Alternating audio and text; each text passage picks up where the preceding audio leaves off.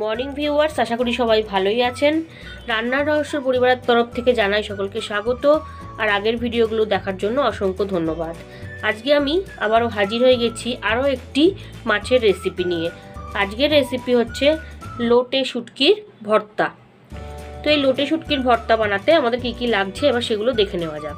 প্রথমেই লাগছে এখানে লোটে শুটকি নিয়ে নিয়েছি আমি। দেখুন শুটকি মাছ মানে লোটে মাছ যেটা, এটা ড্রাই ড্রাই লোটে মাছ একদম নিয়ে নিয়েছি আমি এখানে। এখানে রয়েছে কুচনো টমেটো, ওখানে রয়েছে স্লাইস করে রাখা পেঁয়াজ, এখানে রয়েছে আদা, রসুন, পেঁয়াজ আর কাঁচা লঙ্কা বাটা। এখানে রয়েছে ধনে পাতা কুচো করা, এখানে রয়েছে কাঁচা লঙ্কা কুচো, এখানে নিয়ে নিয়েছি রসুন কুচি করে নিয়েছি, কালো জিরে একটা শুকনো লঙ্কা, হলুদ, শুকনো লঙ্কার গুঁড়ো, কাশ্মীরি রেড চিলি পাউডার লবণ আর রান্নাটা আমি সর্ষের তেলে করব। তো আর দেরি না করে এবার রেসিপিটা শুরু করা যাক।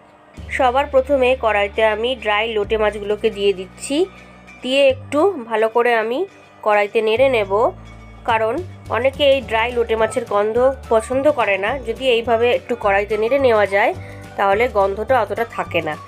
তাছাড়াও এই ড্রাই লোটে মাছের মধ্যে কিছুটা পরিমাণ বালি থাকে। এইভাবে নেড়ে নেওয়ার ফলে বালিটাও বেরিয়ে যায়। ড্রাই লোটে মাছগুলো ভালো করে আমি কড়াইতে নেড়ে নিয়েছি। এবার আমি নামিয়ে নিচ্ছি। নামিয়ে নিয়ে একটু এইভাবে আমি ঝেড়ে নিচ্ছি। ঝেড়ে নেওয়ার ফলে কি হবে? এক্সট্রা বালিগুলো ভালোভাবে বেরিয়ে যাবে। এবার আমি মাছগুলোকে প্লেটে তুলে নিচ্ছি। এবার আমি কড়াইতে এক গ্লাস মতন জল দিয়ে দিলাম। জলটা একটু ফুটিয়ে নেব। ফুটিয়ে নিয়ে এর মধ্যে ওয়ান টিস্পুন মতন একটু লবণ দিয়ে দিচ্ছি। আর দিয়ে দিচ্ছি ওয়ান টিস্পুন মতন হলুদ। হলুদটা দিয়ে আমি একটু ভালো করে নেড়ে নিচ্ছি। নেড়ে নিয়ে একটু সামান্য ফুটিয়ে নেব। ফুটিয়ে নিয়ে ড্রাই লোটে মাছগুলো আমি এই হলুদ আর লবণের জলের মধ্যে দিয়ে দিচ্ছি। দিয়ে ভালো করে একটু মিশিয়ে দিচ্ছি। তার ফলে কি হবে? গন্ধটাও চলে যাবে আর যতটুকু বালি রয়েছে সেটাও চলে যাবে। এইবার আমি পাঁচ মিনিটের জন্য একটু ঢেকে দিচ্ছি। পাঁচ মিনিট চাপা দিয়ে রাখার পরে আমি গ্যাসটা অফ করে দিয়েছিলাম। দিয়ে এইভাবে আমি তিরিশ থেকে পঁয়তাল্লিশ মিনিট এইভাবে মাছটাকে হলুদ আর লবণ জলের মধ্যে চুবিয়ে রেখেছিলাম। এবার আমি মাছগুলোকে তুলে নেব। ড্রাই লোটে মাছগুলো আমি তুলে নিয়েছি। আমি আবারও সেম প্রসেসে এক গ্লাস জলের মধ্যে এক চামচ হলুদ আর সামান্য একটু লবণ দিয়ে জলটাকে আমি ফুটিয়ে নিচ্ছি। আপনারা দেখুন, হলুদ জলটা কিন্তু ভালো করে ফুটে গেছে। এবার আমি গ্যাসটা অফ করে দিচ্ছি। অফ করে দিয়ে মাছগুলোকে আবারও জলের মধ্যে দিয়ে ভালো করে একটু নেড়ে দিলাম। নেড়ে দিয়ে আমি আবারও তিরিশ থেকে পঁয়তাল্লিশ মিনিট এইভাবে জলের মধ্যে মাছগুলোকে রেখে দেব। এইভাবে মাছগুলোকে রাখার ফলে কি হবে? ড্রাই লোটের মাছের যে গন্ধটা থাকে, সেটা একদম চলে যাবে, আর থাকবেই না। আপনারা দেখুন, আমি কিন্তু সেকেন্ড টাইম যে হলুদ আর লবণ গরম জলে চুবিয়ে রেখেছিলাম, সেখান থেকে তুলে নিয়ে ভালো করে আমি পরিষ্কার জল দিয়ে ধুয়ে নিয়েছি। এইবার আমি একটুখানি এইভাবে একটু ভেঙে ভেঙে নিচ্ছি, লোটে মানে লোটে শুটকিগুলো একটুখানি এইভাবে আমি ভেঙে ভেঙে নিচ্ছি।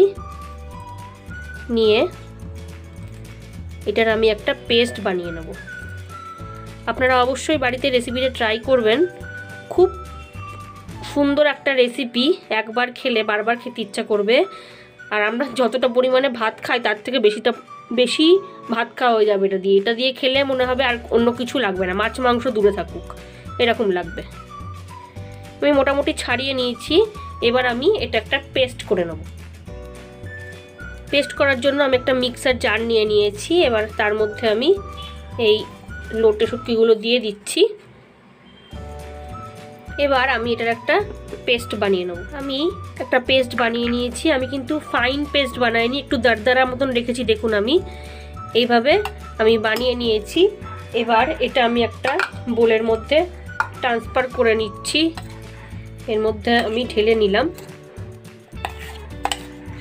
এইভাবে আমি ঢেলে নিলাম।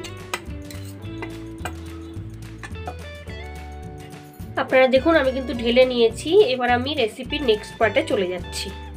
এবার আমি একটা কড়াই বসিয়ে নিয়েছি। কড়াইতে আমি বেশ কিছুটা পরিমাণ, প্রায় টু টেবিল স্পুনের কাছাকাছি সর্ষের তেল দিয়ে নিচ্ছি।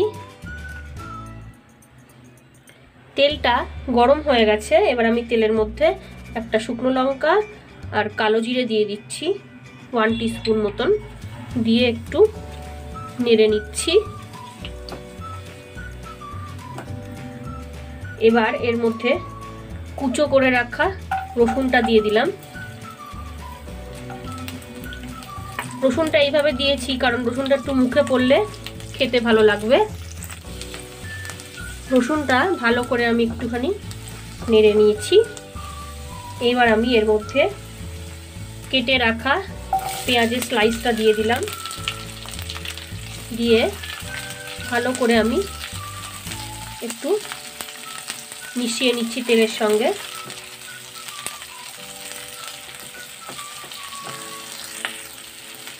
ভালো করে আমি পেঁয়াজটা কিন্তু মিশিয়ে নিয়েছি। পেঁয়াজটাকে আমি এবার হালকা একটু গোল্ডেন ব্রাউন করে ভেজে নেব। পেঁয়াজটাতে কিন্তু হালকা গোল্ডেন ব্রাউন কালার চলে এসেছে।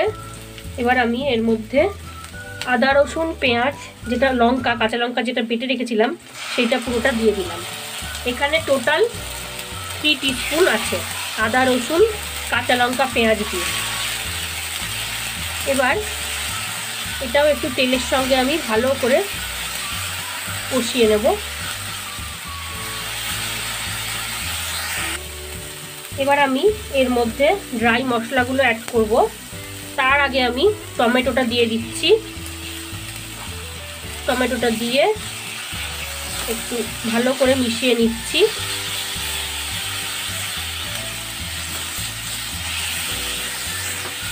মিশিয়ে নিয়ে এবার আমি এর মধ্যে ড্রাই মশলাগুলো অ্যাড করে দিচ্ছি। হাফ টিস্পুন হলুদ গুঁড়ো হাফ টিস্পুন শুকনো লঙ্কার গুঁড়ো আর কাশ্মীরি রেড চিলি পাউডার দিয়ে দিচ্ছি ওয়ান টিস্পুন দিয়ে সব কিছু আমি ভালো করে আবারও মিশিয়ে দিচ্ছি। সব কিছু আমি ভালো করে মিশিয়ে নিয়েছি। এবার আমি এর মধ্যে স্বাদ অনুসারে একটু লবণ দিয়ে দিচ্ছি। আর কুচনো কাঁচা লঙ্কাটা দিয়ে দিলাম। দিয়ে আমি আবারও সব কিছু মিশিয়ে দিচ্ছি। এবার আমি এই মশলাটাকে দু থেকে তিন মিনিটের জন্য একটু চাপা দিয়ে দিলাম। দুই থেকে তিন মিনিট হয়ে গেছে, এবার আমি ঢাকনাটা খুলে নিচ্ছি।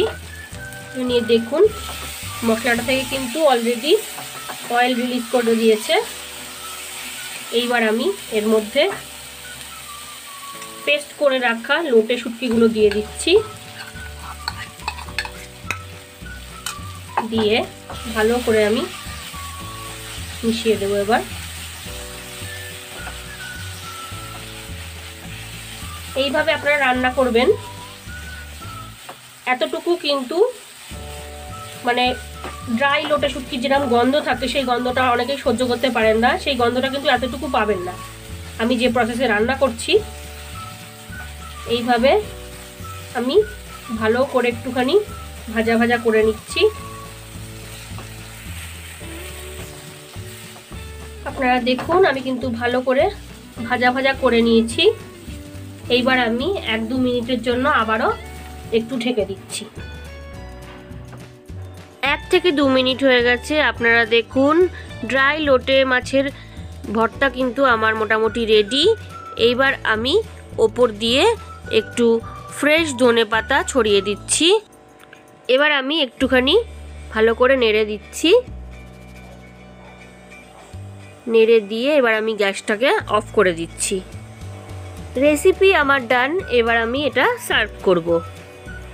ড্রাই লোটে মাছের ভর্তা আমার রেডি ভালো লাগলে আপনারা বাড়িতে ট্রাই করবেন, আর যদি ভালো লাগে তাহলে লাইক করবেন শেয়ার করবেন। আর যারা এখনও পর্যন্ত আমার চ্যানেলটিকে সাবস্ক্রাইব করেননি, তারা আরও ভালো ভালো রান্নার রেসিপি পাওয়ার জন্য আমার চ্যানেলটিকে সাবস্ক্রাইব করবেন।